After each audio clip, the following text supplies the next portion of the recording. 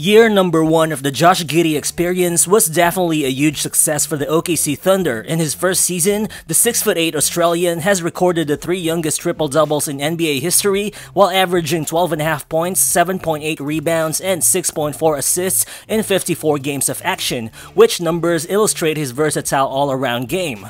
But as a Thunder fan myself, I'm gonna be the first one to tell you that for sure, Giddey wasn't an efficient scorer last season, both from the field and the three point line. And and overall, the 47.8 true shooting percentage that he put up was actually 10 points below the league average.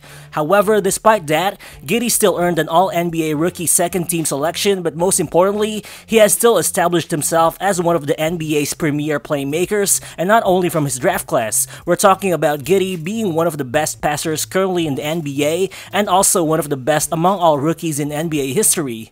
Cause not only did Giddey lead his draft class in assists per game, but his 32.3% assist rate was actually the 12th highest in the NBA last season, and for context, the rookie with the next best assist rate in the league was Ayo Dosunmu who ranked number 68 overall.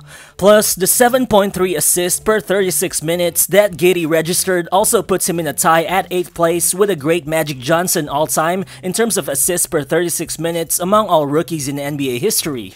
This guy basically has future point guard written all over him. However, the playmaking is only one component of Giddey's skill set and the question is, how can he actually elevate his game to the next level for OKC?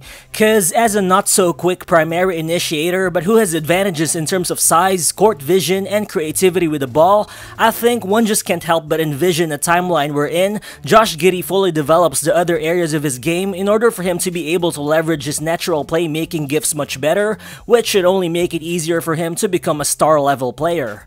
The good thing is, after he was controversially left off last season's All NBA rookie first team, it seems like Giddey's primed to prove all his doubters wrong this 2022 to 2023 NBA season, and in this video, we'll dive into some of his film from the preseason and from OKC's first game of the year to understand why a sophomore season breakout could easily happen for Josh Giddey. So what's good everyone, it's Riro Balls here, and as always, if you do enjoy this video, please do hit that like button or or do click that subscribe button. It only takes a second of your time, but it will be much appreciated. So let's get to it.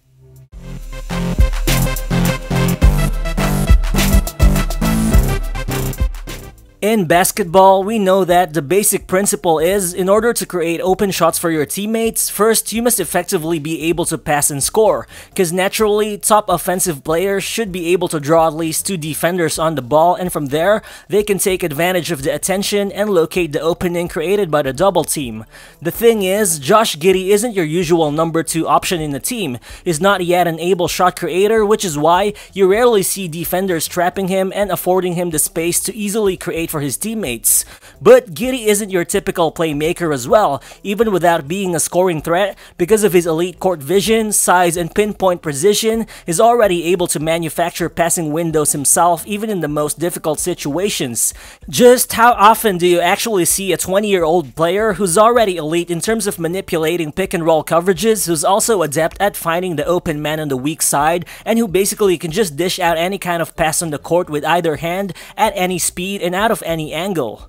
In this pick and roll play, watch how fast Giddey processes things. In the split second he gets the switch, watch him position himself to be able to dish out the precise bounce pass to the rolling JRE. Here, watch OKC run high double drag screenplay for Giddey. The speed at which he attacks the driving lane freezes the defense, and from there, he throws the beautiful one-handed skip pass to the weak side, setting up Tre Mann for the easy floater. Then here, watch the two-man game between Lu Dort and Giddey. Dort is about to use the screen by Jay Will, and Giddey already reads the action beforehand as he throws the quick one-handed laser pass to Dort right on the open spot. If you come to think of it, Giddey's making all those advanced passing reads without even attracting double teams and without even probing the defense himself. Well, for sure, Giddey already has the tools to be a potent shot creator. He's got good positional size as well as the ability to change pace and directions with the ball in his hands. But the thing he did didn't have as a rookie was a reliable jump shot. So I'm wondering just how much more passing windows he can create once he's already able to demand more attention, particularly as a jump shooter. But here's the thing, as a rookie, almost one-third of Giddey's shot attempts came from behind the arc, but his 26.3% shooting rate from deep was actually the third worst percentage among all rookies who attempted at least 100 three-pointers, only ahead of Alperen Sengun and Jalen Suggs. Well, dissecting his three-point shooting by categories is far more interesting though, as you can see that Giddey actually connected on a decent 32.7% of his pull-up three-pointers despite the small volume, and while he attempted far more catch-and-shoot three-pointers, he struggled to knock those down with any sort of consistency at only 24.5%.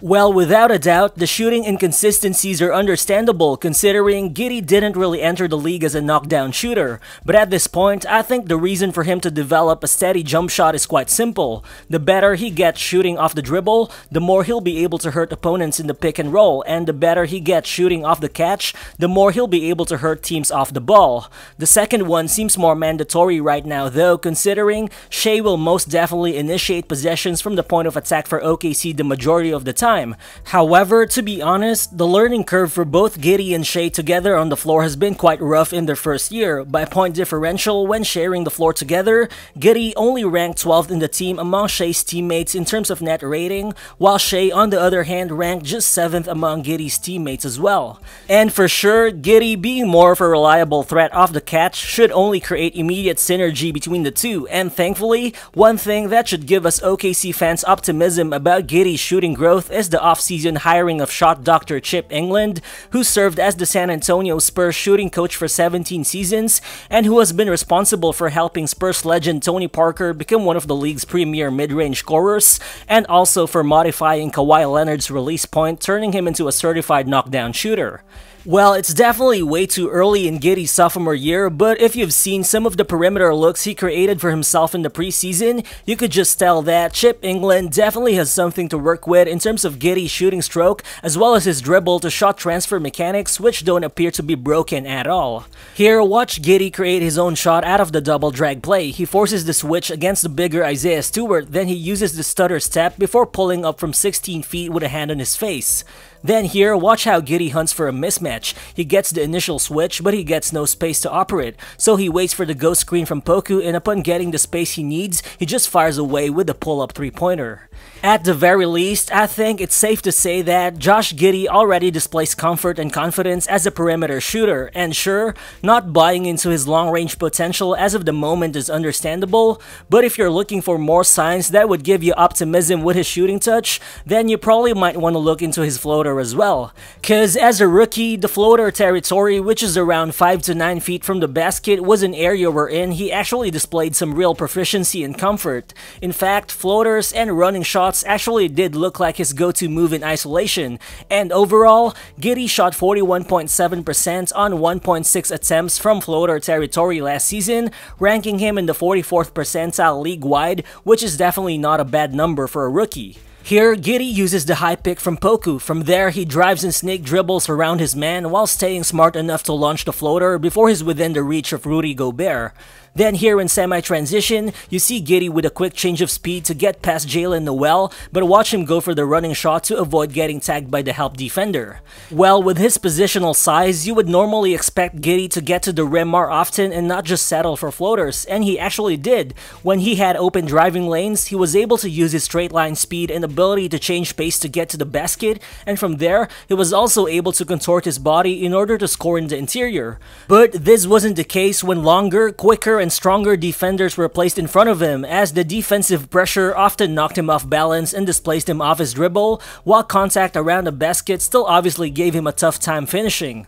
Overall, Giddey shot 57% at the rim as a rookie, which only ranked him in the 26th percentile among all players listed as wings in the entire NBA. I think this is where some added weight and strength can help Giddey capitalize on his drives, and the good thing is, as early as the first couple of games in the Summer League, he already looked bigger, stronger, and a little bit more explosive when attacking the basket. Here, Giddey doesn't have a driving lane, but once he gets the switch against the smaller Bones Hyland, watch him with a change of pace as he drives and transfers the ball to his right hand mid-air before finishing against two defenders. Here in transition, watch Giddey attack Rudy Gobert. Again, you see the change of pace, the transfer of the ball to the right hand, and the nice underhanded finish. Well, for sure, even with all these improvements, I think it would be unreasonable to expect Giddey to become the most explosive driver out there, because even now that he's put on some weight, you can see that he doesn't really rely on a quick first step, but rather on his size and mastery of pace.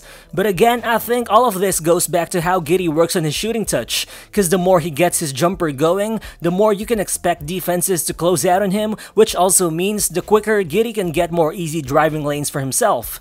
Sure, at this point, the playmaking is still the best part of Josh Giddey's game, but as good as he's been, the scary part is we definitely haven't seen the full extent of his ability yet. He averaged 11.6 potential assists as a rookie, which is also the 23rd most in the entire NBA. So imagine just how many more assists he would have averaged even if only half of those potential assists were actually converted.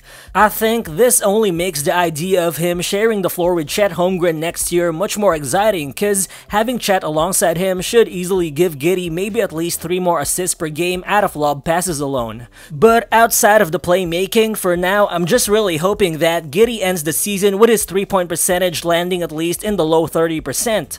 While that's not a huge leap for him, but that would already indicate that Giddey's progressing in terms of his most notable swing skill, which is what would also ultimately determine whether he ends up as a star level player or not. So thank you guys if you made it this far into the video, and as always, feel free to share your thoughts in the comment section below, and if you're new to the channel, please consider subscribing as well. Again, this is Riro Balls, and I'll see you on the next one. Peace.